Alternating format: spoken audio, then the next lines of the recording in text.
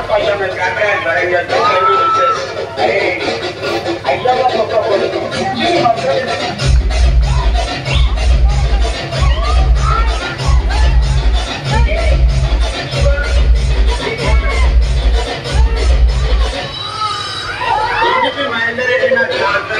Thank you.